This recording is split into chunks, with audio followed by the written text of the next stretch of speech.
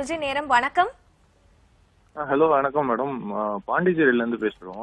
Sundaramurthy. Okay sir. உங்களுடைய ரா- ராசி நட்சத்திரம் சொல்லுங்க. மேஷ ராசி அஸ்வினி நட்சத்திரம். டேட் ஆஃப் பர்த் வந்து பன்னெண்டு எட்டு ஆயிரத்தி தொள்ளாயிரத்தி தொண்ணூறு. பன்னிரெண்டு எட்டு ஆயிரத்தி தொள்ளாயிரத்தி தொண்ணூறு. Okay sir. பிறந்த- நேரம் சொல்லுங்க. பிறந்த நேரம் சொல்லுங்க சார். காலை ரெண்டு நாற்பத்தி மூணு. ஓகே. ரெண்டு நாற்பத்தி மூணு ஏஎம் ஓகே சார் உங்களுடைய சந்தேகம் என்ன சார் குருஜி ஐயா இருக்காங்க கேளுங்க. காலையில ரெண்டு நாற்பத்தி மூணு விடிஞ்சா பதிமூணாம் தேதியா பன்னிரெண்டாம் தேதியா? விடிஞ்ச பன்னெண்டாம் தேதி சார் பன்னிரெண்டாம் தேதி தான் மேஷராசி அஸ்வினி நட்சத்திரமா? ஆமா சார் ஆ கேளுங்க என்ன கேட்கணும் சார் ரொம்ப நாளா படிச்சுட்டு மெரைன் படிச்சிருக்கேன். சரி. இந்த மாதிரி கப்பல்ல கேப்டனுக்காக பட் ஆனா எனக்கு பிடிச்ச மாதிரி ஒரு வேலையே கிடைக்கவே இல்லை ரொம்ப நாளா. அப்புறமா சரி கொஞ்சம் கம்மியான தகுதியில ஒரு வேலை கிடைச்சது. அதுவும் ஒரு ஒரு வருஷம் நல்லா இருக்க மாதிரி இருக்கும். அடுத்த வருஷம் ரொம்ப கஷ்டப்படுற மாதிரி அப்படிதான் இருக்கு. வருகின்ற ஆறாம் சொல்லுங்க சொல்லுங்க. அப்புறம் வீட்டுல வேற வயசாகுதுன்னு சொல்லிட்டு மேரேஜுக்கு வேற அலையன்ஸ் பாக்குறாங்க. அதுலயும் ரொம்ப தள்ளி போயிட்டு தான் இருக்கு. இந்த இந்த அமைப்பின்படி கப்பலில் தான் வேலை செய்வீங்க. வருகின்ற ஜூன் மாதத்திற்கு பிறகு உங்களுக்கு மனசுக்கு நிறைவான வேலை கிடைக்கும். இப்போ வந்து சூரிய தசை புதன் பக்தி வருகின்ற ஜூன் மாதத்திற்கு பிறகு நடக்குது. இந்த கப்பலில் மரைனில் வேலை செய்கிறதுக்கான மூன்று பாவகங்கள் வந்து விருச்சிகம் கடகம் மீனம். இப்போ உங்களுக்கு சுக்கர தசை நடந்துக்கிட்டு இருக்கு. இந்த இந்த சுக்கர தசை அமைப்பில் அந்த சூரிய தசை அமைப்பில் சுக்கிரன் சூரியன் குரு கேது இந்த நான்கு பேரும் கடக ராசியில நீர் ராசியில இருக்கிறாங்க. நீரில் மிதக்கின்றது கடகத்தை குறிக்கும். ஆக இந்த சூரிய தசை அதனை எடுத்து நடக்க போகின்ற சந்திரன் செவ்வாய் எல்லாமே சரராசிகள் இருக்கிறதுனால இயங்கிக் கொண்டே ஓடிக்கொண்டே மிதந்து கொண்டே இருக்கின்ற ஒரு அமைப்புல தான் நீங்க இருந்தாகணும் வருகின்ற ஜூன் மாதத்திற்கு பிறகு. ஏற்கனவே நடந்த ரெண்டாயிரத்தி பதினஞ்சு அஷ்டம சனியிலிருந்தே உங்களுக்கு சரியான ஒரு நல்ல பலன்கள் இல்லைன்னு தான் சொல்லுவோம். ஒரு அஞ்சு வருஷமாவே நல்லா இல்லை இல்லையா நீங்க? ரொம்ப கஷ்டப்பட்டு ரொம்ப கஷ்டம். ஆமா ஒரு வீட்ல இருந்து யாருமே வேலைக்கு போல நானும் இல்ல அப்பாவுக்கும் வேலை கிடைக்கல தம்பியும் வேலைக்கு போல அப்படி ரொம்ப கஷ்டமா இருக்கு ம், வீட்ல யாருன்னா விருச்சிக ராசி மேஷ ராசின்னா ரெண்டு மூணு இருந்திருக்கும் ஒரே அஷ்டம சனியா இருந்திருக்கும். விருச்சிக ராசி யாருன்னா வீட்ல இருக்காங்களா? தெரியல அம்- அம்மா அப்பாவுக்கு என்ன ராசின்னு தெரியல. தம்பி மட்டும் மிதுன ராசி. ஆமாம் வருகின்ற ரெண்டாயிரத்தி போன ரெண்டாயிரத்தி பதினஞ்சுலேருந்தே உங்களுக்கு உங்கள் குடும்பத்தில் ரொம்ப கஷ்டம். இந்த க கடகராசியில் இருந்தாலே நீரில் மிதக்கின்ற ஒரு அமைப்பு கேப்டனு கப்பலில் வேலை செய்கிற பணிபுரிகிற அமைப்புலாம் உங்களுக்கு இருக்குது இப்போ சூரிய தசையில் சனி பக்தி நடக்குது. இந்த சூரிய தசை சனி பக்தி சஷ்டாஷ்டக தசா பக்திகள் எப்போதுமே நல்ல பலன்களை தராது அப்படிங்கிற அடிப்படையில் சூரியனும் சனியும் ஆறு எட்டாக இருக்கிறனால இப்போ இப்போ உங்களுக்கு வருகின்ற ஜூன் மாதம் வரைக்கும் நல்ல டைம் இல்லை. அதே நேரத்தில் அடுத்து லக்னாதிபதி புக்தியாகிய புதன் பக்தி ஆரம்பிக்கிறதுனாலையும் சூரியனும் சூரியன் கடகத்தில் மிதக்கின்ற அமைப்பில் ராசியில் இருந்து அடுத்து சந்திரன் அதாவது சரராசிகளில் இருக்கிற கிரகங்கள் அடுத்தடுத்து இருக்கிற கிரகங்கள் நிரந்தரமாக ஒரு ஓடிக்கொண்டே இருக்கின்ற வேலையை தான் வேலையை தான் செய்ய வைப்பாங்க அப்படிங்கிற அடிப்படையில் அடுத்து நடக்க இருக்கின்ற சந்திரதசை செவ்வாதசை ராகதசை குருதசை எல்லாமே வந்து உங்களுக்கு சரராசிகளே அடங்கிட்டதுனால நிச்சயமாக உங்களுடைய வாழ்நாள் முழுக்க நீரில் மிதக்கின்ற கப்பலில் தான் வேலை செய்வீங்க. வர ஜூன் மாதத்துலேருந்து அது அது நடக்க ஆரம்பிக்கும். எப்போவுமே லக்னாதிபதி புக்தி வரும் பொழுது ஒரு மிகப்பெரிய மாற்றம் கண்டிப்பாக வரும். இது வரைக்கும் இருக்கின்ற ஏமாற்றங்கள் உங்களுக்கு நிச்சயமாக கிடையாது. வருகின்ற ஜூன் மாதத்திற்கு பிறகு நீங்கள் நினைத்த மாதிரியே உங்களுக்கு பிடித்த மாதிரியே நீங்கள் படித்த மாதிரியே நிச்சயமாக ஒரு கப்பல்ல வேலை செய்யற அந்த அந்த கேப்டன் வேலை உங்களுக்கு உறுதியா கிடைக்கும். நல்லா இருப்பீங்க. வாழ்த்துக்கள். அழைத்ததற்கு நன்றி. தொடர்ந்து அடுத்த காலர் லைன்ல இருக்காங்க. வணக்கம். குருஜி நேரம். வணக்கம். உங்க பேர் சொல்லுங்க சார். சார் சார் எங்க பேர் பாலகுருமூர்த்திங்க சார். என்ன பேருங்க? பாலகுரு பாலகுருமூர்த்தி. ஓகே. பாலகுருமூர்த்தி. பாலகுருமூர்த்தி. எங்க இருந்து கால் பண்றீங்க? கோயம்புத்தூர்ல மேடம். ஓகே. உங்களுடைய பிறந்த உங்களுடைய ராசி நட்சத்திரம் சொல்லுங்க சார் அனுஷ நட்சத்திரம் விருச்சிக ராசி. டேட் ஆஃப் பர்த் சொல்லிட்டா? ஆ சொல்லுங்க சார் எட்டு ஏழு ஆயிரத்தி தொள்ளாயிரத்தி எண்பத்தி ஏழு எட்டு ஏழு ஆயிரத்தி தொள்ளாயிரத்தி எண்பத்தி ஏழுங்களா ஆமா சார் பிறந்த நேரம் பிறந்த நேரம் சார் அஞ்சு நாற்பத்தி ரெண்டு ஏஎம் காலை. அஞ்சு நாற்பத்தி ரெண்டு ஏஎம் அப்போ விடிஞ்சதுன்னா எட்டுங்களா தேதி? ஆமா. இல்ல. ஆமா காலையில எட்டாம் தேதி தாங்க. எட்டாம் தேதி காலையில மனுஷ நட்சத்திரம் விருச்சிக ராசி என்ன கேள்வி கேட்கணும்? சார் சார் நான் வந்து சார் ரொம்ப சந்தோஷம் சார் உங்ககிட்ட பேசுறது. வாழ்க்கை பண்ணலான்னு சார். உங்க ஜோதிடம் கலையெல்லாம் வாழட்டும் சார். வாழ்த்துக்கள் வாழ்த்துக்கள். நல்லா இருப்பீங்க சொல்லுங்க. வாழ்க்கை சார் நீங்களும் நல்லா இருங்க சார். உங்க குடும்பம் எல்லாரும் நல்லா இருக்கும் சார். நல்லா இருப்போம். நீங்களே கொஞ்சம் ஜோசியம் தெரியுமே உங்களுக்கு? சார் உங்களுக்கு ஒரு கடைசி உடவை பார்த்தேன் சார். அப்ப உங்களுக்கு எலசனி முடியணும் நீங்க இப்ப எனக்கு பிடி- பிடிக்காத வேலையில தான் சார் நான் இருக்கேன். எங்க அம்மாவோட மூஞ்சிக்காக தான் போயிட்டு இருக்கேன். சரி. வீட்டு சூழ்நிலை பிடிச்ச வேலையை நீ கிடைக்க மாட்டேங்குது. என்ன வேலைக்கு போறதுன்னு எனக்கு புரியல. சரி. ரெண்டாயிரத்தி பத்துல படிப்பா முடிச்சா ரெண்டாயிரத்தி பதினொன்னுல ஏழரை சனி. எப்படியோ ஜென்ம சனியிலிருந்து ஒரே பிரச்சனையா இருக்கு சார். வேலையே இல்லாம கஷ்டப்பட்டேன் அதான் உங்களுக்கே ஜோசியம் வருமேன்னு சொன்னேன். நீங்களே மிதன லக்கணம் புதன் புதன் புதன் ஆட்சியா இருக்கிறாரு. புதன் தசை வேற நடந்திருக்கு. ரெண்டாயிரத்தி பதினேழுல இருந்து கே திசை இப்ப செவ்வாய் பக்தி நடக்குது. கடந்த டிசம்பர் பதினெட்டாம் தேதியில இருந்து மனம் ஒரு நிலையில இல்லாம இருக்கும். ஒரு ஒன்றரை ரெண்டு மாசமாவே நீங்க நல்லா இல்ல. மூணு மாசமா. டிசம்பர் நல்லா இல்லை சார். உங்களை பார்த்தா கொஞ்சம் நம்பிக்கை வந்துச்சு. சரி. உங்ககிட்ட பேச பேச ஒரே ஆசை. தூக்கத்துல கூட உங்ககிட்ட பேசியாகணும் ஆசை. ஆண்டவன் கிடைச்சது சார். எல்லா அனுஷ நட்சத்திரக்காரர்களும் நன்றாக இல்லை ரெண்டாயிரத்தி பன்னெண்டுல இருந்து தான் சொல்லியிருக்கிறேன். தற்போது உங்களுக்கு மிதுன லக்னத்திற்கு ஆகாத திசையான அதுவும் பாபத்துவமாகி பரிவர்த்தனையாகி ரெண்டு சந்திரன் செவ்வாய் ரெண்டுமே பரிவர்த்தனையா இருக்கு. கே திசையில செவ்வாய் பக்தி நடக்குது. வருகின்ற மே மாதம் வரைக்கும் உங்களுக்கு எந்த விதமான நல்ல பலன்களும் நடக்கிறதுக்கு இல்லை. மிதன லக்னத்திற்கு செவ்வாய் தசை செவ்வாய் பக்திகள் நல்ல பலன்களை செய்யாதுன்னு சொல்லியிருக்கிறேன். ஏற்கனவே மிகப்பெரிய ஒரு வாலிபமான காலகட்டத்தில் ரெண்டாயிரத்தி பன்னெண்டுல இருந்தே அந்த ஏழரை சனி அமைப்பு. அனுஷ நட்சத்திரக்காரங்க யாருமே ஒரு நாலஞ்சு வருஷமா நல்லா இல்லையே. ரெண்டாயிரத்தி பன்னெண்டுல இருந்து யாருமே நல்லா இல்லை. இனிமே எல்லாருமே நல்லா இருக்க போறீங்க. ஏப்ரல்ல இருந்து நல்லா இருப்பீங்கன்னு சொன்னேன். உங்களுக்கு மட்டும் ஒரு மாதம் கூடுதலாக சொல்லுவேன். இந்த செவ்வாய் வந்து ரெண்டாம் இடத்துல பரிவர்த்த ரெண்டாம் இடத்துல நீச்சமாகி வேற எந்த விதமான சுபர் பார்வை அமைப்புகளும் இல்லாம சந்திரனோடு பரிவர்த்தனையா இருக்கிறனால இப்ப இந்த டிசம்பர் மாசத்துல இருந்தே நீங்க சுத்தமா அந்த அந்த ஏழரை சனியோட கண்டினியூட்டி தான் இருக்கும். ஒரு மனக்குழப்பம் எந்த விதமான வேலை இருக்காது. டிசம்பர் பதினெட்டாம் தேதியில இருந்து மே மாதம் பதினஞ்சாம் தேதி வரைக்குமே செவ்வாய் பக்தி நடந்துகிட்டு இருக்கு. இந்த செவ்வாய் பக்தி எப்பவுமே மே- மேஷ லக்கணம் இது மிதுன லக்கணத்திற்கு நல்ல பலன்களை செய்யாது. ராகு பக்தி ஆரம்பிச்சோடனே வேலை கிடைச்சிடும் செவ்வாய் பக்தி முடிஞ்சிட்டோம். கேதச ராகு ராகு வந்து பத்தாம் இடத்தோடு இருக்கின்ற குருவின் குருவின் வீட்டில் இருக்கிறார். எப்போதுமே மிதுநலக்கணத்திற்கு குருவின் சம்பந்தப்பட்ட குரு ச- குருவின் இட வீட்டு வீடுகளில் இருக்கின்ற தசாபக்தி அமைப்புகளில் ஒரு மாற்றம் வேலை மாற்றம் தொழில் மாற்றம் ஏற்படும். அந்த அமைப்பின்படி கேதச ராகுபக்தி ஒரு குருவின் வீட்டிலிருந்து குருவை போலவே பலம் தருவார் அப்படிங்கிறதுனால வருகின்ற ஏப்ரல் மாதம் கடைசி வாரம் அல்லது மே மாதம் முதல் வாரத்தில் இந்த வேலை அமைப்புகளில் நிச்சயமாக ஒரு மாற்றம் ஏற்படும். வீட்டுக்குள்ளேயே உட்காந்துருக்காம முயற்சிகளை செய்யுங்க. ஒரு ஏழு வருஷமாக உங்களுக்கு இருந்த இருள் நேரம் ஒரு ஒரு ஏழரச்சனைன்ற ஒரு அமைப்பு சுத்தமாக விலகிடுச்சு. எல்லா அனுஷ நட்சத்திரக்காரர்களும் ஒரு மனம் எல்லாமே ஒரு புத்துணர்ச்சி ஒரு இது நல்ல அமைப்புகளில் வந்துக்கிட்டு இருக்கிறீங்க. எல்லாருக்குமே நல்லது நடந்துக்கிட்டு இருக்குது அந்த நல்லது நடந்துக்கிட்டு இருக்கிறதுன்றதை உணர்ந்து விருச்சிக ராசிக்காரர்கள் அனைவரும் இனிமேல் நன்றாக இருக்க போகிறீர்கள் அப்படிங்கிறத உ- உண்மையிலே உங்களுக்கு நான் என்னதான் சொன்னாலும் உங்கள் மனசு அதை உணரும். எல்லாருமே நல்லா இருக்க போகிறீங்க முயற்சிகளை செய்யுங்க. அதுக்காக நல்லா இருக்க போறேன் நல்லா இருக்க போகிறேன்னு சொல்லிட்டு வீட்டுக்குள்ளேயே கதவை முடிக்கிட்டு போரையை போத்திக்கிட்டு அப்படியே உள்ள உட்காந்துக்கிட்டு இருந்தால் ஒன்றும் நடக்காது.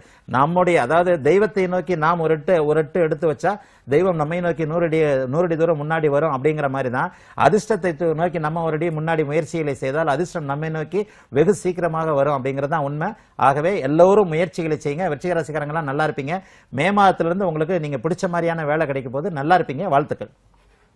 அழைத்ததற்கு நன்றி. தொடர்ந்து அடுத்த காலர் லைன்ல இருக்காங்க. வணக்கம் குருஜி நேரம். ஹலோ நமஸ்காரம். வணக்கம்மா. உங்க பேர் சொல்லுங்கம்மா. என் பேரு என் பையனுக்காக பாக்குறேன். என் பேரு உஷா. இருந்து பேசுறேன். கௌஷிக் பையன் பேரு. சரிங்கம்மா. அவருடைய ராசி பாக்குறேன். டேட் ஆஃப் பர்த் ஃபர்ஸ்ட் சொல்லட்டுமா? சொல்லுங்கம்மா. இருபத்தொன்பது நாலு ஆயிரத்தி தொள்ளாயிரத்தி தொண்ணூத்தி நாலு. சரிங்கம்மா. ராசி நட்சத்திரமா நட்சத்திரம் கேட்ட நட்சத்திரம் விருச்சிக ராசி. ஓகேம்மா. ஆ, அதிகாலை வந்து ஒண்ணு ஐம்பத்தஞ்சு. அதாவது விடிந்தால் வெள்ளிக்கிழமை வரும். நேரம் பிறந்த நேரம். ஓகே ஓகேம்மா. ஒன்னு ஐம்பத்தைந்துன்னு சொல்லிருக்கீங்க என்ன சந்தேகம்மா? கேளுங்க குருஜி இருக்காங்க. ம் ஐயா. வாழ்த்துக்கள்மா நமஸ்காரம். வாழ்த்துக்கள் நமஸ்காரம்மா நான் நல்லா இருப்பீங்கம்மா உங்க யூடியூப் வீடியோ அந்த ஆர்டிகல் எல்லாம் நல்லா படிச்சிட்டு இருக்கேன் எப்போதும் அதான் எனக்கு வேலையே. அதனாலதான் உங்களை லைன் கிடைச்சி எனக்கு ரொம்ப ரொம்ப சந்தோஷம். என்ன இப்படி சொல்றதே தெரியல. பகவானோட கருணைம்மா எல்லாமே பரம்பொருளோட கருணை. நல்லா இருப்பீங்கம்மா சொல்லுங்கம்மா. என் பையனுக்கு திருமணத்துக்காக பாத்துட்டு இருக்கோம் ஐயா. ரொம்ப இதுவா இருக்கு. எங்க இருந்து. எங்க இருந்துமா பேசுறீங்க? டெல்லியில இருந்தா? ஆமாமா டெல்லி பக்கத்துல இருந்து சிக்ஸ் ஹவர்ஸ் டேராடூன் டேராடூன். உங்க கடைசியில ரொம்ப சந்தோஷம் ஐயா. உங்க ஆசீர்வாதம் எனக்கு ரொம்ப நல்லா இருப்பீங்கம்மா. கேட்ட நட்சத்திரம் இப்பதானே அந்த அனுஷ நட்சத்திரம் கேட்ட நட்சத்திரத்தை பத்தி நிறைய பேசியிருக்கிறேன். தம்பிக்கு வந்து இப்போ வந்து சுக்கிரதசை நடக்குது. சுக்கிரதசையில சனி பக்தி நடந்துகிட்டு இருக்கு. சுக்கிரதசை சனி பக்தி. சுக்கிரதசை கும்ப லக்னம் தானம்மா?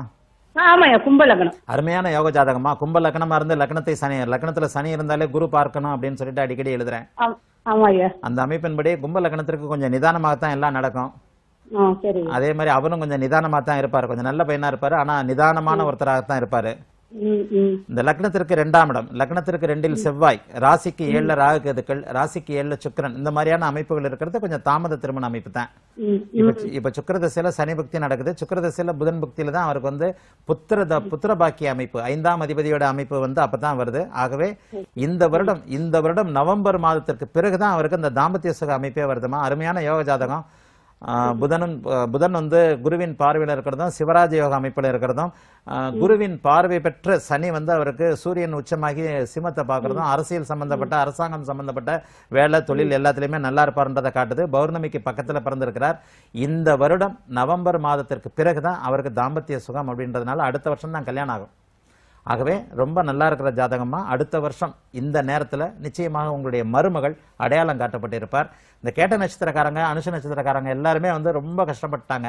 வாழ்க்கையில் உங்கள் குடும்பத்திலேயே வந்து ஒரு அஞ்சு வருஷமாக எந்த விதமான சுபகாரிய நல்ல காரிய அமைப்புகள் நடந்திருக்க வாய்ப்பில்லை. இந்த வருடம் நவம்பர் மாதத்திற்கு பிறகு தம்பிக்கு வந்து தாம்பத்திய சுக அமைப்பு வர்றதுனால இந்த வருஷ கடைசியிலிருந்து அடுத்த வருஷம் நேரமே உங்கள் மாமா உங்கள் உங்களுக்கு யார் என்னன்னு தெரிஞ்சிருக்கோம். அடுத்த வருஷத்துலேருந்து நல்லா இருப்பாருமா? வாழ்த்துக்கள்மா.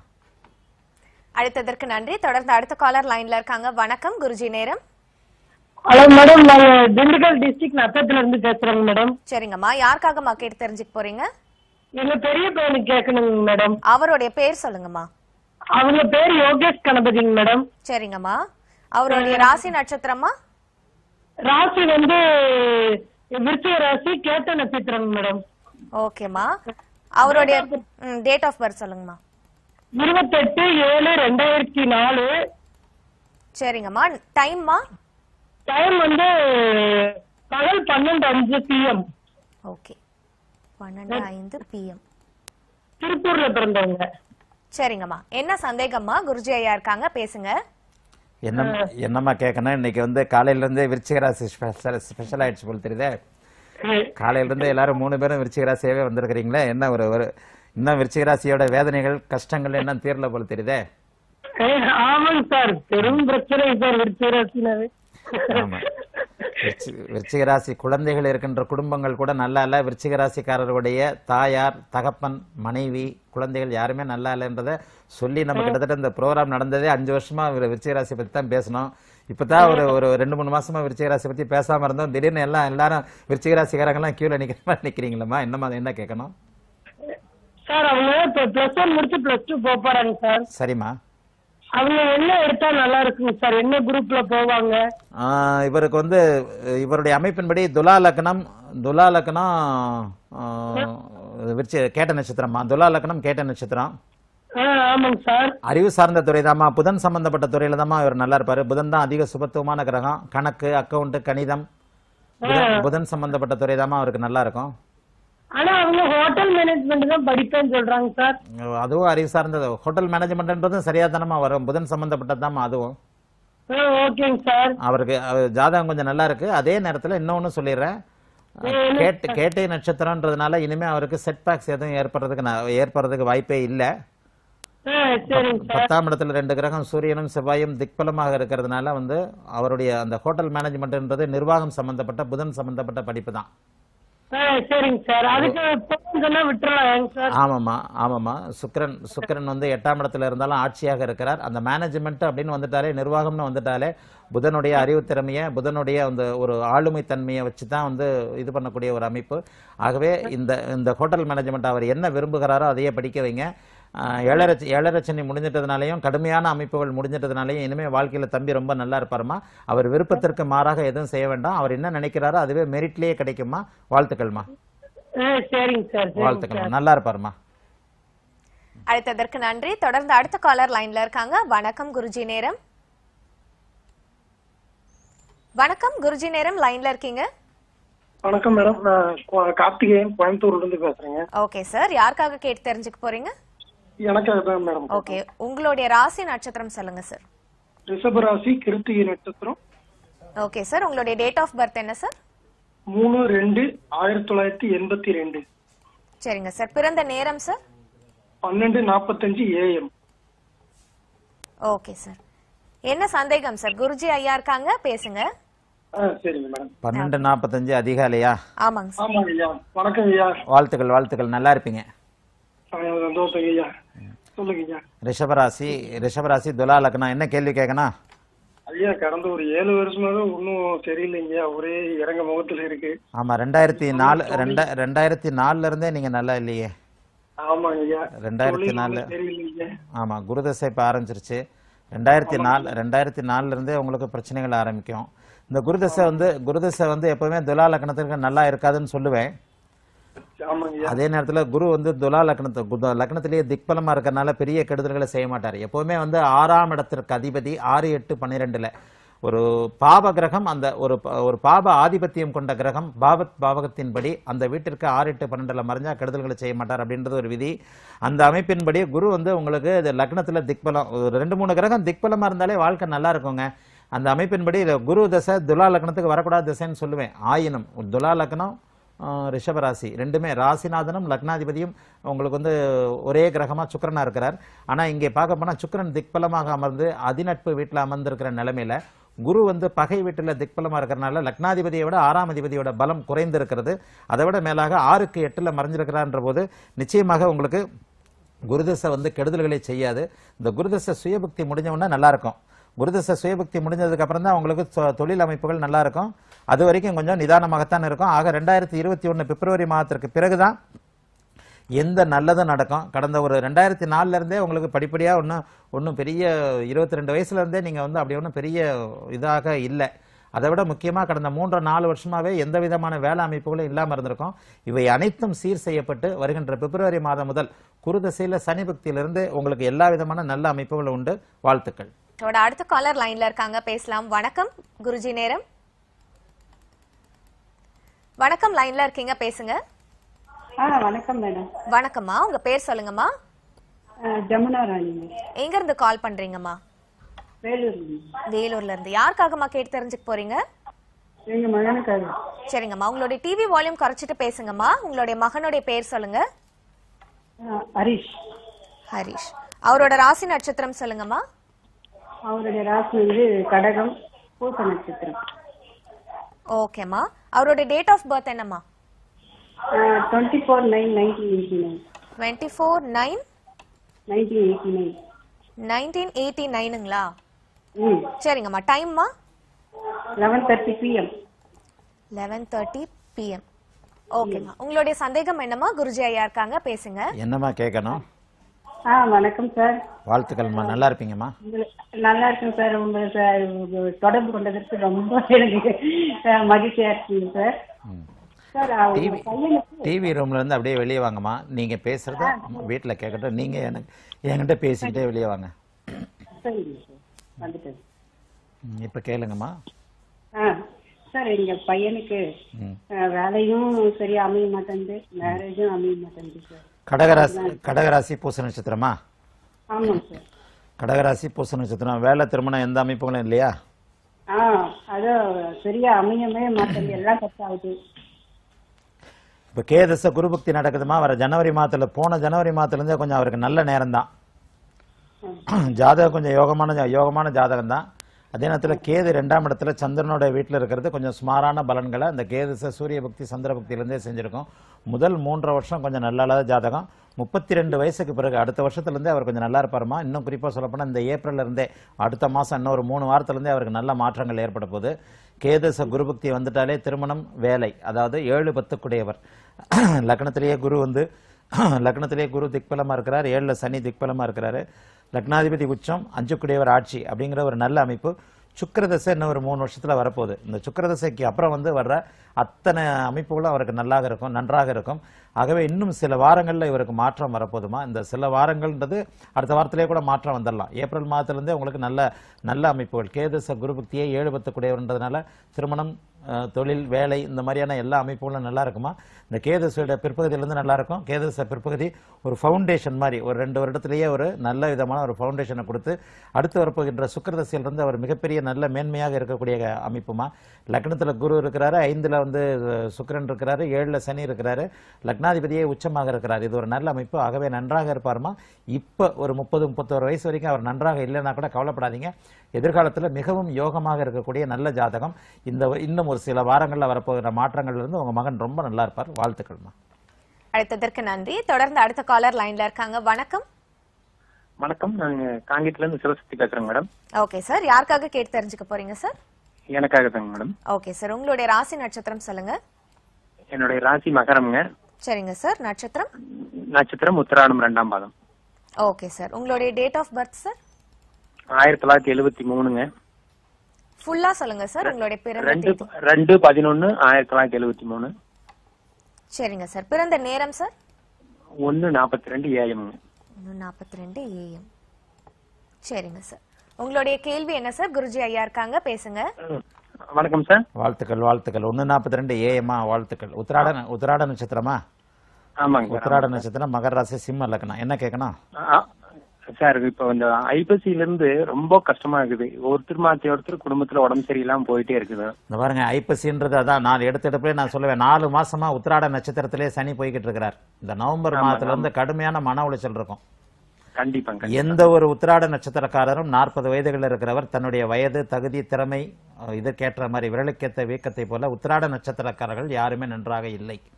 கண்டிப்பா உங்களுடைய ஜென்ம உங்களுடைய ஜென்ம நட்சத்திரத்திலே சனி போய்கிட்டு இருக்கிறார். அதுதான் காரணம்.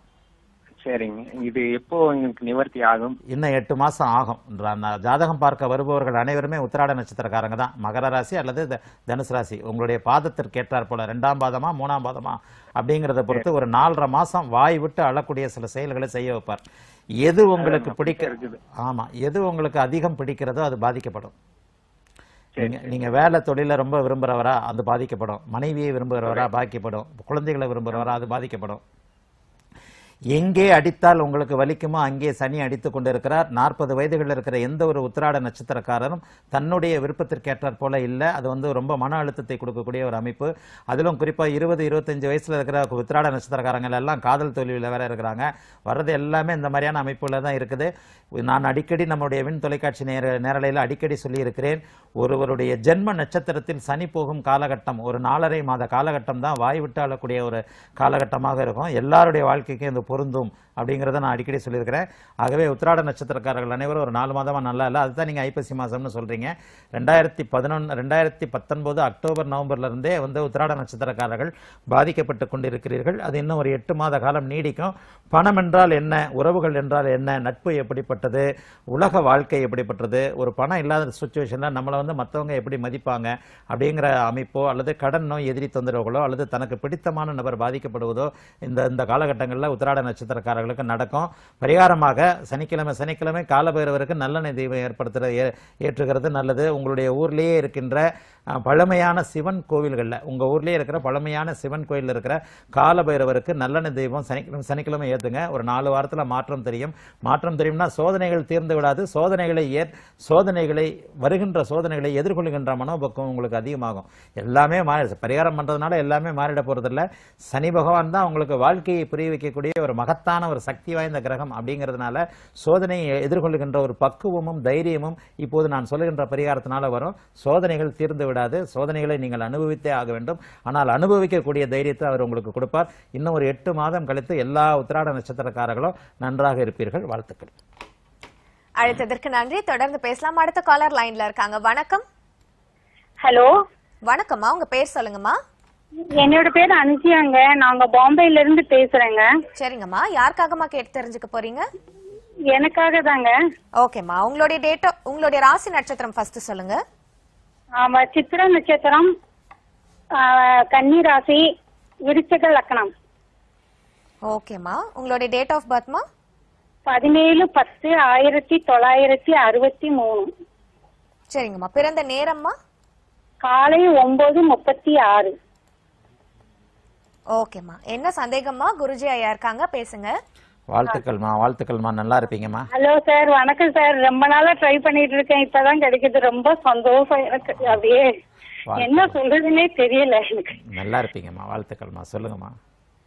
சார் எனக்கு உடம்புக்கு அடிக்கிறதுக்கோ உடம்புக்கு முடியாம போகுது. சரி. என்னோட இறுதி காலம் எப்படி இருக்கும்?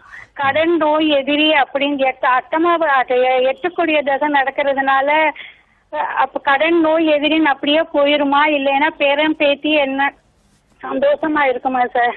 இன்னமும் ஐம்பத்தேழு வயசு தான் ஆகுது. ஐம்பத்தி அறுபது வயசு வரைக்கும் இப்ப சமீபத்துல உலக சுகாதார நிறுவனம் அறுபது வயதுக்குள்ள இருக்கிறவங்க எல்லாரும் இளைஞர்கள்னு அறிவிச்சிருக்கிறாங்க. ஐம்பத்தேழு வயசுல போய் அந்திம காலத்தை பத்தி பேசுறீங்களாம்மா? நல்லா இருப்பீங்கம்மா. இல்ல சார். அதுக்கு ஒருக்கா உட எனக்கும் சரி எங்க வீட்டுக்காருக்கும் சரி உடம்புக்கு முடியாம போகுது. நிறைய இப்படியே மாத்திரை மருந்துன்னு சொல்லி செலவாயிட்டே போகுது சார். சனி திசை நடந்தாலே சனி வந்து ஒரு ஒரு ப- சாதகமில்லாத ஒரு அமைப்புல சனி வந்து பாபத்துவமா இருந்து நடந்தாலே இப்படித்தாம்மா கடந்த ஒன்பதரை வருஷமா குறிப்பா சொல்ல போனா ஏழு வருஷ காலமா ச- உங்களுக்கு வந்து உடம்பு சரியில்லாம இருந்திருக்கு இல்லையா?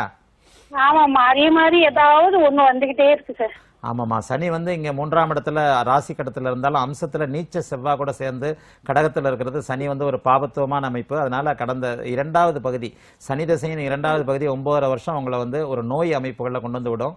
அதே நேரத்தில் இரு ரெண்டாயிரத்தி இருபத்தி ரெண்டு வரைக்கும் தான் சனி தசை வரப்போகுது. இந்த ரெண்டாயிரத்தி இருபத்தி ரெண்டுக்கு பிறகு உங்களுக்கு புதன் தசை வருது. விருச்சிக லக்னத்துக்கு நான் வரக்கூடாத புதன் தசைன்னு சொல்லுவேன். ஆனால் உங்களுக்கு வந்து புதன் வந்து எட்டாம் இடத்தோடு தொடர்பு கொள்ளாமல் நோயை தீர்க்கின்ற பதினோராம் இடத்திலிருந்து தொடர்பு கொண்டிருக்கிறனால இந்த அறுபது வயதிற்கு பிறகு எழுபத்தேழு வயது வரைக்கும் நடக்கிற புதன் தசை உங்களுக்கு யோகத்தை செய்யுமா? நீங்கள் வந்து ஏற்கனவே நானே சொல்லியிருக்கிறேன் விருச்சிக லக்கணத்திற்கு வரக்கூடாத புதன் தசைன்னு சொல்லுவேன். ஆனால் எல்லா விதிகளுக்கும் விதிவிலக்கு இருக்கின்ற மாதிரி நீங்கள் விருச்சிக லக்கணம் கன்னிராசியில் பிறந்திருக்கிற உங்களுக்கு இந்த வரக்கூடாத புதன் தசை உங்களுக்கு ஒரு நல்ல ஆரோக்கியத்தையும் நல்ல ஒரு பேரன்பத்திகளோட சந்தோஷமாக இருக்கக்கூடிய ஒரு அமைப்பையும் தரும். எப்படி அப்படின்னு சொன்னால் விதிக்கு விதியை விட விதிவிலக்குகள் தான் ஜோதிடத்தில் முக்கியம்னு அடிக்கடி சொல்லுவேன். அடிக்கடி நான் சொல்லுவேன் எல்லா அதாவது எந்த விதியை முதலில் ஏறு- முதலில் பொருத்தி பார்ப்பது அப்படிங்கிறத ஜோதிடத்தில் தெரிய வந்துட்டாலே உங்களுக்கு பலன் டக்கு டக்குன்னு வந்துருமா? ம- இருக்கிறதுனாலே புதன் உச்சமாக இருக்கிறதுனாலே நீங்களே ஓரளவுக்கு ஜோதிடத்தில் ஆர்வமுள்ளவராகத்தான் இருப்பீர்கள். அந்த அமைப்பின்படி லக்னாதிபதி திசையும் ராசிநாதன் தசையும் எப்போதும் கெடுதல்களை செய்யாதுன்னு சொல்லுவேன். உங்களுக்கு கன்னிராசியாகி அந்த அந்த ராசியின் அதிபதியான புதன் அங்கேயே உச்சமாக இருக்கிறது மிகப்பெரிய யோகம். ரெண்டாவது எட்டு இரு ஆதிபத்தியம் உள்ள கிரகங்கள் எந்த ஆதிபத்தியத்தோடு அதிகம் தொடர்பு கொள்ளுகிறதோ அந்த ஆதிபத்திய பலனை செய்வார்கள் அப்படிங்கிற விதிப்படியும் ஆறாம் இடம் நோயை குறிக்கும் ஆறுக்கு ஆறான மறைவிடமான பதினொன்றாம் இடம் நோய் தீர்வதை குறிக்கும். அதாவது நோய் குணமாகிறதை குறிக்கும் அப்படின்ற அமைப்பின்படி ஆறுக்கு ஆறான பதினொன்றாம் இடத்தில் புதன் வலுத்து உச்சமாகி இருக்கிறதுனால தற்போது இருக்கின்ற நோய் உங்களுக்கு ரெண்டாயிரத்தி இருபத்தி ரெண்டுக்கு பிறகு தீரக்கூடிய அமைப்புமா? ஐ அறுபது வயதிற்கு பிறகு ஒரு பதினேழு வருஷம் எழுபத்தேழு வயசு வரைக்கும் பதினொன்றாம் இடத்தில் அமர்ந்திருக்கின்ற பதினொன்றாம் அதிபதி திசை வர்றது உங்களை ஒரு நல்ல புண்ணிய ஆத்மா அப்படிங்கிறத காட்டுது. ஆகவே இப்போது இருக்கின்ற ஆரோக்கிய குறைவுகள் ரெண்டாயிரத்தி இருபத்தி ரெண்டுக்கு பிறகு உறுதியாக உங்களுக்கு தீர ஆரம்பிக்கும். ரெண்டாயிரத்தி இருபத்தி ரெண்டுலேருந்து ரெண்டாயிரத்தி இருபத்தஞ்சுக்குள்ளேயே அப்படியே படிப்படியாக கொஞ்சம் நோய் குணமாக ஆரம்பிக்கும். பேரன் பேத்திகளோடு சந்தோஷமாக இருக்கக்கூடிய ஒரு காலகட்டம் இறுதி காலத்தில் ராசிநாதன் மற்றும் பதினொன்றாம் அதிபதியாகி உச்சமான புதன் தசை அப்படின்றதுனால உங்களுக்கு கிடைக்க போகுது. நல்லா இருப்பீங்கம்மா கவலைப்படாதீங்க நோயை பற்றி கொண்டு இது பண்ணாதீங்க. முறையான மருத்துவத்தை செய்யுங்க முறையான டாக்டர்கிட்ட போங்க. இப்போ இந்த சனி தசை குரு பக்தினாலே வந்து ஒரு நல்ல மருத்துவமும் நல்ல மருத்துவரும் அடையாளம் காட்டப்படுவாங்க. நல்லா இருப்பீங்கம்மா. புதன் தசை வந்து பதினேழு வருஷம். அதில் கிட்டத்தட்ட வந்து ஒரு பதிமூணு வருஷம் நோயை அமைப்போல குறைக்கிற அமைப்புகளும் கடைசி நாலு மூன்று மூன்று வருஷம் நாலு வருஷம் நோயை அதிகப்படுத்துறதும். ஒரு எழுபத்தி நாலு வயசுக்கு பிறகு தான் ஒரு நோய் தொந்தரவுகள் உங்களுக்கு அதிகமாக இருக்குமே தவிர அது வரைக்கும் இருக்காது. அதனால வயசாயிடுச்சு அப்படிங்கிற எண்ணமே நிச்சயமாக வேண்டாம். வயசாகிறதுன்றது உடலுக்கு தான் வயசாகுதே தவிர மனதிற்கு வயதாகிறது இல்லை மனத்தை இளமையாக வைத்துக் கொள்பவன் என்றென்றைக்கும் உடலையும் இளம் உடலையும் இளமையோடு கட்டுப்படுத்த முடியும் அப்படிங்கிறது ஜோதிடத்திற்கு அப்பாற்பட்ட ஒரு விதிமா நல்லா இருப்பீங்கம்மா. இருபத்தி ரெண்டுல இருந்து வர்ற புதன் தசை உங்களுக்கு ரொம்ப நல்லா இருக்கும். வாழ்த்துக்கள்மா. அழைத்ததற்கு நன்றி. தொடர்ந்து அடுத்த காலர் லைன்ல இருக்காங்க. வணக்கம் குருஜி நேரம். வணக்கம் மேடம் வணக்கம்மா. உங்க பேர் சொல்லுங்கம்மா. என்னோட பேர் தங்க தமிழ் முல்லை மேடம் சரிங்கம்மா. எங்க இருந்துமா கால் பண்றீங்க? நாங்க புதுக்கோட்டை மாவட்டம் பனையப்பட்டிங்கிற ஒரு கிராமம் மேடம் சரிங்கம்மா. யாருக்காகம்மா கேட்டு தெரிஞ்சுக்க போறீங்க? எங்க பையனுக்காக கேக்குறேங்க மேடம் அவருடைய பேர் சொல்லுங்கம்மா. செந்தமிழ் இனியன். செந்தமிழ்? இனியன். சரிங்கம்மா. அவருடைய ராசி நட்சத்திரம் சொல்லுங்கம்மா. அவர் ராசி வந்து கும்பா ராசி மேடம். ஓகேம்மா. நட்சத்திரமா அதே நட்சத்திரம். சரிங்கம்மா. அவருடைய டேட் ஆஃப் பர்த் என்னம்மா? பிறந்த தேதி சொல்லுங்கம்மா. பிறந்தது இருபத்தி ஆறு ரெண்டு ஆயிரத்தி தொள்ளாயிரத்தி தொண்ணூத்தி எட்டு. இருபத்தி ஆறு ரெண்டு ஆயிரத்தி தொள்ளாயிரத்தி தொண்ணூத்தி எட்டு. பிறந்த நேரமா மாலை ஐந்து ஐந்து மணி நாற்பத்தி ஆறு நிமிடம் மேடம். சிம்ம லக்கணம். ஓகேம்மா. என்ன சந்தேகம்மா? குருஜி ஐயா இருக்காங்க பேசுங்க. ஆ, கொடுங்க மேடம். வாழ்த்துக்கள்மா வாழ்த்துக்கள்மா. முதல்ல ஐயா வணக் வணக்கம் ஐயா. எங்க ஊர் பூச்சொலியல் ஐயா அன்னைக்கு. ரொம்ப நல்லா இருப்பீங்கம்மா ரொம்ப நல்லா இருப்பீங்கம்மா. முதல்ல உங்க நாளா ட்ரை பண்றேன் மேடம். சார் சார் இப்பதான் சார் கிடைச்சிருக்கு சார் தெய்வ அருளால. சரி கடை எல்லாம் பரம்பொருளாடார் நீங்க உங்க பேர் சொல்லுங்க முதல்ல. தங்கத்தமிழ். முல்லை சார். தங்கத்தமிழ் மகன் பேரு செந்தமிழ் இனியன்.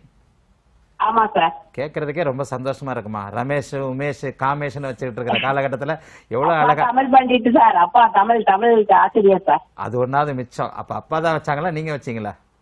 அப்பா வச்சுட்டாரு. பையனுக்கு எல்லாத்துக்குமே சார். இதை அப்படியே கண்டினியூ பண்ணுங்கம்மா. கண்டினியூ இது அப்படியே தொடருங்க. தமிழ இன்ப யாழினி சார். ஆஹா ஆஹா. கேட்கறதுக்கே எவ்வளவு இன்பமா இருக்கு பாருங்க. அதாவது தமிழை வந்து Thank you காப்பா sir. ரொம்ப- எல்லாருமே நம்மள அறியாம பாருங்க தொடருங்கன்னு சொல்ல நானே கண்டினியூ பண்ணுங்கன்னு சொல்றேன். ஆக எல்லாருமே மெல்ல மெல்ல மெல்ல தமிழை சாகடித்து கொண்டிருக்கின்ற ஒரு நேரத்துல வந்து அதுவும் வரிசையா இனிய தமிழ் பெயர்களை காதுல கேட்கும்போது ரொம்ப ஆனந்தமா இருக்குதுமா அதனால இத சொத்து கொடுக்கறோமோ இல்லையோ ஒரு தமிழையாவது நம்முடைய மொழியாவது அடுத்த தலைமுறைக்கு நம்ம கடத்தி கொடுக்க வேண்டியது நம்முடைய உண்மை- உண்மையான ஒரு கடமை. அதனால உங்க குடும்பத்தை பாராட்டியே ஆகணும்.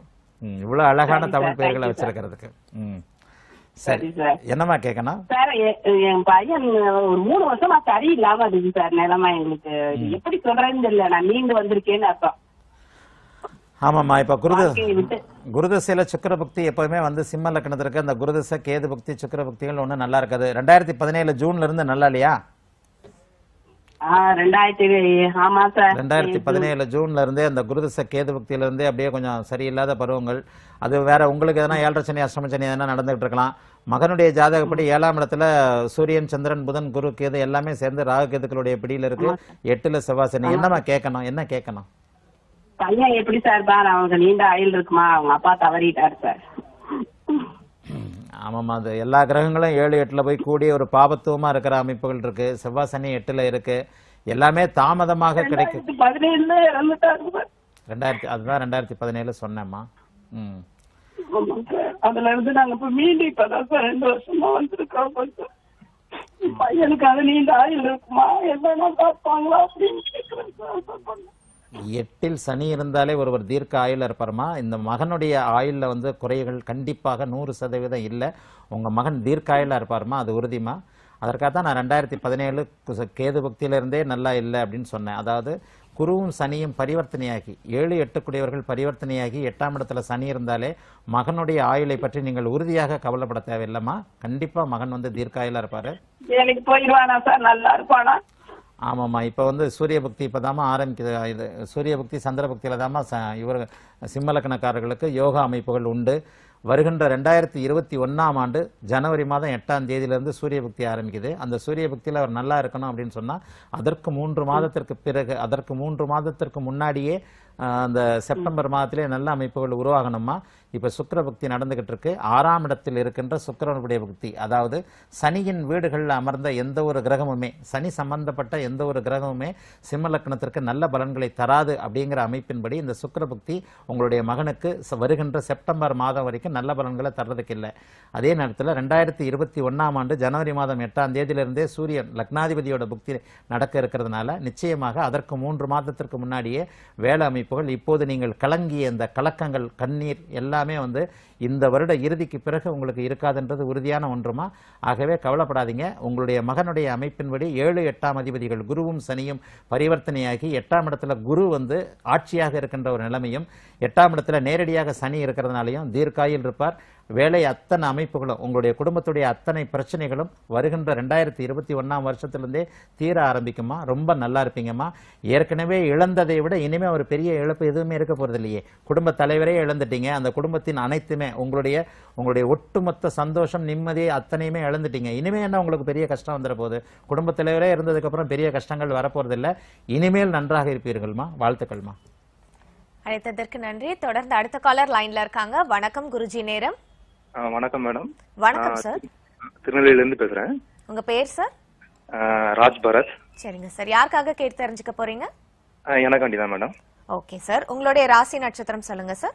சிம்ம ராசி மக நட்சத்திரம் கன்னி லக்கணம். Okay sir. உங்க டேட் ஆஃப் பர்த் ரெண்டாம் தேதி பன்னெண்டாவது மாசம் ஆயிரத்தி தொள்ளாயிரத்தி தொண்ணூத்தி ஆறு.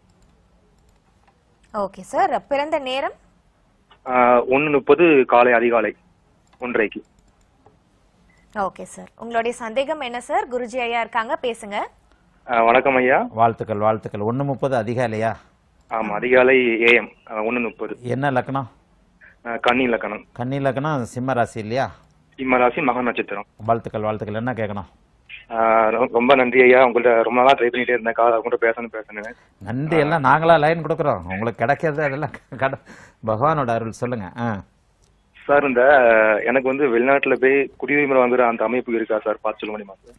ஆமாம் எட்டாவணம் கண்டிப்பாக உங்களுக்கு மனமெல்லாம் வெளிநாடு தான் வெளிநாட்டு அமைப்பு பு- புதன் வந்து கன்னியால கன்னியா லக்னத்துல பிறந்திருக்கிறீங்க. புதன் பத்தாம் இடத்துல இருக்கிறாரு. புதன் பத்தாம் இடத்தை நோக்கி பார்த்து கொண்டு இருக்கிறார் குருவும் புதனும் சேர்ந்து இருக்குது உங்களுக்கு பார்த்து சொல்ல முடியுமா? இல்லை உங்களுக்கே கொஞ்சம் அரவர அறிவு இருக்கும். எட்டு பன்னிரெண்டாம் இடங்கள் சுபத்துவமாகி எட்டு பன்னிரெண்டாம் அதிபதிகள் ஒருவருக்கு ஒரு தொடர்பு கொண்டு அவர் வெளிநாட்டில் நிரந்தரமாக குடியிருப்பார்னு சொல்லியிருக்கிறேன். இப்போ சுக்கரதசில் பு- புதன் புக்தி நடக்க இருக்குது. சுக்கரதச புதன் புக்தி உங்களுடைய எண்ணங்களை பலிக்க செய்யும் அந்த அமைப்போட சிம்மத் சிம்மம் வலுவாகி பன்னிரெண்டாம் இடமான சிம்மத்தை குறிபார்த்து எட்டாம் இடமான மேஷத்தையும் பார்க்கிறார். எட்டு பன்னிரெண்டாம் இடங்களை கு- சுபத்துவமான ஒரு சுபகிரகம் சுபத்துவமாகி இருந்தாலே எட்டு பன்னிரெண்டாம் அதிபதிகள் ஒருவருக்கொருவர் தொடர்பு கொண்டு எட்டு பன்னிரெண்டாம் இடங்களில் இருந்து அடுத்தடுத்து சரராசியில் இருக்கின்ற தசைகள் நடந்தாலே நிச்சயமாக ஒருவர் வந்து வெளிநாட்டுக்கு போவார் வெளிநாட்டில் செட்டில் ஆவார்ன்றதை எழுதியிருக்கிறேன்.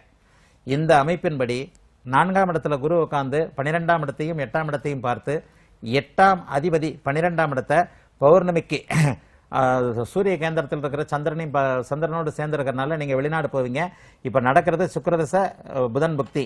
இந்த சுக்கிரதச புதன் புக்தி ரெண்டாயிரத்தி இருபத்தி ரெண்டுக்குள்ளேயே உங்களை வெளிநாட்டில் செட்டில் ஆகும் அதுக்கடுத்து நடக்கிறக்கின்ற கேது புக்தியிலிருந்து வெளிநாட்டில் தான் இருப்பீங்க. நிரந்தரமாக வெளிநாட்டில் இருப்பீங்க. ஏன்னா சூரியன் சந்திரன் செவ்வாய் எல்லாமே அடுத்து இப்போ இதுக்கு அடுத்து வரப்போகிறது பன்னிரெண்டாம் இடத்த அதிபதியாகிய சூரிய தசை ஒரு வெளிநாடு அமைப்பு ஏன் உங்களுக்கு மனசில் வந்து தோன்றிருக்கு அப்படின்றதுக்காக சொல்கிறேன் இதற்கடுத்து வரை இரண்டாயிரத்தி இருபத்தி மூணுக்கு பிறகு சுக்கரதச கேதுபக்திக்கு பிறகு வருகின்ற சூரிய தசை பன்னிரெண்டாம் அதிபதி பரதேச வாசத்தை குறிக்கக்கூடிய பன்னிரெண்டாம் அதிபதியின் தசை. அதற்கடுத்து ஆறு வருஷம் கழிச்சு வருகின்ற பதினாறு பத்து வருஷ தசை. பன்னிரெண்டாம் இடத்தில் இருக்கின்ற சந்திர தசை அதனை அடுத்து வருகின்ற மொத்தம் இருபத்தி மூன்று வருஷம் சூரியன் சந்திரன் செவ்வாய் இது மூன்றுமே பன்னிரெண்டாம் இடத்தோடு தொடர்பு கொண்டிருக்கிறது. அதாவது பன்னிரெண்டாம் அதிபதியாகிய சூரியனுடைய திசையும் பனிரெண்டாம் வீட்டில் இருக்கின்ற செவ்வாய் சந்திரனுடைய திசையும் அதனை அடுத்து பன்னிரெண்டாம் வீட்டில் இருக்கின்ற செவ்வாய் திசையும் கிட்டத்தட்ட இருபத்தி மூன்று வருடங்களுக்கு உங்களுக்கு வர இருக்கிறது. அதன் பிறகு அப்ராடு வெளிநாடை குறிக்கின்ற கிரகமாகிய ராகு பதினெட்டு வருஷம் வரப்போறார். ஆக கிட்டத்தட்ட ஒரு ஐம்பது அறுபது வருஷம் இனிமேல் வெளிநாட்டிலேயே இருக்கக்கூடிய ஒரு காலகட்டம் உங்களுக்கு வர்றதுனால ரெண்டாயிரத்தி இருபத்தி ரெண்டுக்கு பிறகு ஒரு வெளிநாட்டு குடியுரிமை அது கிழக்கு நாடாக தான் இருக்கும். கன்னியாலக்கணம் பன்னிரெண்டாம் அதிபதி வ- பிரதேச வாசத்தை குறிக்கக்கூடிய சூரியனாக இருக்கிறதுனால நிச்சயமாக கிழக்கு நாடு ஒன்றில் வெளிநாட்டு குடியுரிமை வாங்கி கிழக்கு நாட்டிலே செட்டில் ஆகி அந்திம காலத்திற்கு பிறகு அதாவது தாய் தகப்பனார் காலத்திற்கு பிறகு இந்தியாவிற்கு வர முடியாத ஜாதகம் ஜாதகம் உங்களுடைய அந்திம காலம் வெளிநாட்டில் தான் இருக்கும். வாழ்த்துக்கள். அழைத்ததற்கு நன்றி. தொடர்ந்து அடுத்த காலர் லைன்ல இருக்காங்க. வணக்கம் குருஜி நேரம். வணக்கம் குருஜி. வணக்கங்க. வாழ்த்துக்கள்மா. நல்லா இருப்பீங்கம்மா. உங்க பேர் சொல்லுங்கம்மா. எங்க பையன் பேர் சந்திரசேகருங்க. சரிங்கம்மா. அவருடைய ராசி நட்சத்திரம் சொல்லுங்க. ரேவதி நட்சத்திரம்ங்க. மீன ராசிங்க. கும்ப லக்கணம்ங்க. ஓகேம்மா. அவருடைய பிறந்த தேதி சொல்லுங்கம்மா. எட்டு பன்னெண்டுங்க. ஆயிரத்தி தொள்ளாயிரத்தி எண்பத்தி ஒன்பதுங்க. அவருடைய பிறந்த நேரம்மா? பனிரெண்டு இருபதுங்க. மதியம்ங்க. மதியம். ஆமாங்க. சரிங்கம்மா. என்ன சந்தேகம்மா? குருஜி ஐயா இருக்காங்க. பேசுங்க. கல்யாணம் இன்னும் நடக்கலைங்க. வாழ்த்துக்கள்மா வாழ்த்துக்கள்மா. கல்யாணம் லக்னம் ராசிக்கு ஏழு எட்டாம் இடங்கள்ல சனி செவ்வாய் தொடர்பு கொண்டாலே திருமணம் நடக்காதுன்னு சொல்லியிருக்கிறேம்மா. கொஞ்சம் லேட் ஆகும்னு சொல்லியிருக்கிறேன். சரிங்க சார். மீன ராசி தானே உங்க உங்க மகன்? ஆமாங்க ஆமாங்க. மீன ராசி இப்போ ஏழாம் மாசத்துக்கு பிறகு தான் சுக்கரதசையில் சனி புக்தி வரப்போகுது. மீன ராசி ராசிக்கு எட்டாம் இடத்துல செவ்வாய் இருக்கிறது ச- ராசிக்கு எட்டாம் இடத்துல செவ்வாய் இருக்கிறது ஒரு தாமதமான அமைப்பு. அதே மாதிரி சுக்கிரன் கிடக்கூடாது சுக்கிரன் ராக சேர்க்கை இருக்கிறதும் வந்து ஒரு திருமணத்தை தாமதப்படுத்துகின்ற அமைப்பு வருகின்ற ஜூலை மாதத்திற்கு பிறகு பன்னிரெண்டாம் இடத்து அதிபதியாகிய குருவின் குருவின் பார்வையில் இருக்கிற சனி போகத்தை கொடுக்கக்கூடிய தாம்பத்திய சுகத்தை கொடுக்கக்கூடிய சனி சுக்க சுக்கரதசையில் சனி புக்தி வருகின்ற ஏழாம் மாதத்திற்கு பிறகு நடக்கிறதுனால இந்த வருஷம் ஏழாம் மாதத்திற்கு பிறகுதான். குறிப்பாக வருகின்ற கார்த்திகை மாதம் அந்த வருஷம் கடைசி ஆகிடும் அடுத்த வருஷம் ஏப்ரல் மாதத்துக்குள்ள சித்திரை மாதத்துக்குள்ள உங்கள் பையனை கல்யாணம் ஆகிடுமா வாழ்த்துக்கள்மா. அடுத்து இந்த மூணு கிடைக்கலைங்க. மூணு வருஷம் பாத்துக்கிட்டு இருக்கிறவங்க. எப்போது தாம்பத்திய சுக அமைப்பு வருகிறதோ அப்போதுதான் ஒருத்தருக்கு கல்யாண அமைப்புகள் உண்டு. அதுவும் அஞ்சாம் இடத்துல இருக்கின்ற குருவின் பார்வையில் இருக்கின்ற சனி புதன் சனி வந்து பன்னிரெண்டாம் இடத்தை அது பன்னிரெண்டாம் இடத்து அதிபதின்றதுனால போகத்தை தருகின்றவர் அவர் தான் வருகின்ற கார்த்திகை மாதத்துக்கு பிறகு தான் உங்களுக்கு உங்கள் ப- பையனை கல்யாணம் ஆகும். ஜூலை மாதத்திற்கு பிறகு தான் உங்கள் மருமகள் யாருன்னே உங்களுக்கு அடையாளம் காட்டப்படும். ஆக அப்பா அம்மா நமக்கும் வேலை பொழுது போகணும்ல. நம்ம வீட்டிலேயே சும்மா தானே இருக்கிறோம். ஒரு மூணு வருஷம் பையனுக்கு பொண்ணு பார்க்குறத விட வேற என்ன வேலை உங்களுக்கு? நல்லா அவர் பாட்டில் அவர் அவர் இருப்பாரு. நம்ம தானே பொண்ணு பார்த்து கல்யாணம் பண்ணி வைக்கணும். நமக்கும் பொழுது போக வேண்டாமா? அதனால மூணு வருஷம் பொண்ணு பார்க்கறத பத்தி தப்பே கிடையாது. முப்பது வருஷம் பொண்ணு பார்க்குறவங்களாம் இருக்கிறாங்க. அதனால வந்து வருகின்ற ஜூலை மாதத்திற்கு பிறகு உங்களுடைய மருமகள் அடையாளம் கட்டப்படுவார். கார்த்திகை மாதத்திற்கு பிறகு இவருக்கு எந்த நேரத்திலையும் தாம்பத்திய சுகமைப்பு. அடுத்த வருஷம் சித்திரை மாதத்துக்குள்ள கல்யாணம் ஆயிடுமா? வாழ்த்துக்கள்மா.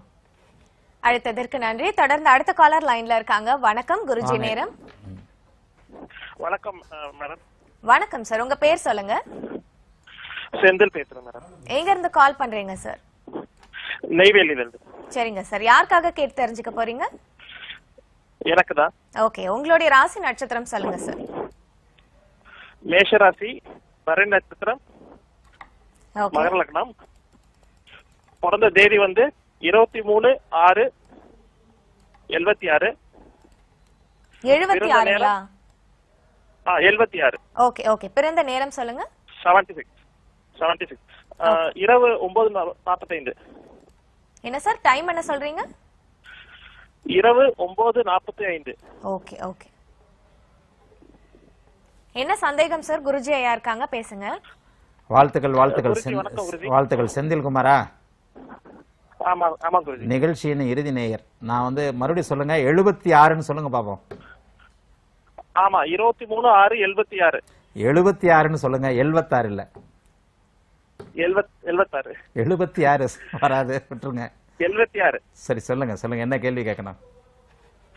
வேலை விஷயமா கேட்கணும் குருஜி. மூணு வாரத்துக்கு முன்னாடி ஒரு வேலை விட வேண்டியதா போயிடுச்சு ஒரு சூழ்நிலையினால. சரி. எப்போ வேலை கிடைக்கும்? முயற்சி பண்ணிட்டு இருக்கேன் எப்பவுமே வந்து அந்த ராகதச சந்திரபக்தி சூரிய பக்தி சந்திரபக்தியில நல்ல பலன்கள் நடக்காது அப்படின்றத நான் தெளிவா நிறைய சொல்லியிருக்கிறேன். ராகதச சூரிய பக்தி சந்திரபக்தி அதுலயும் குறிப்பா வந்து மகர லக்னத்திற்கு சூரிய சந்திரர்கள் நல்ல பலன்களை செய்ய மாட்டாங்கன்றது ஒரு விதி. அந்த அமைப்பின்படி இப்போ கடந்த ஒரு நாலஞ்சு மாசமாவே வந்து உங்களுக்கு நல்லா இல்லாத நிலைமை தான் இந்த சூரியன் சந்திரன் எல்லாமே வந்து ஒரு இன்னும் ஒரு ஒரு ஆறு மாதத்திற்கு வருகின்ற அக்டோபர் மாதம் முப்பதாம் தேதி வரைக்கும் உங்களுக்கு நல்ல பலனை சொல்ல மாட்டேன். மகர லக்னத்திற்கு சூரிய சந்திர திசைகள் சந்திர புக்திகள் நன்றாக இருக்காது. அந்த சனியின் லக்கணங்கள்ல பிறந்தவங்களுக்கு சூரிய அந்தரம் சந்திர அந்தரம் சூரிய பக்தி சந்திர பக்தி சூரிய தசை சந்திர தசை இது நல்லா இருக்காது. அடுத்து வரக்கூடிய குரு தசையில் இருந்து தான் அவங்களுக்கு நல்ல அமைப்புகள் வரும்.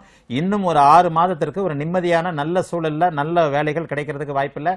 அக்டோபர் மாசம் முப்பதாம் தேதிக்கு பிறகு ரொம்ப நல்லா இருப்பீங்க. வாழ்த்துக்கள். அழைத்ததற்கு நன்றி. ஐயா ரொம்ப ரொம்ப நன்றிங்க ஐயா. இன்னைக்கு நிறைய விஷயங்கள் ரொம்ப அப்படியே அக்யூரேட்டா சொன்னீங்க எல்லாருக்குமே. அதுக்காக ரொம்ப ரொம்ப நன்றிங்க ஐயா. ஓகே தொடர்ந்து இதே மாதிரி வேறொரு நிகழ்ச்சியில சந்திக்கிறோம். அதுவரை நன்றி வணக்கம்.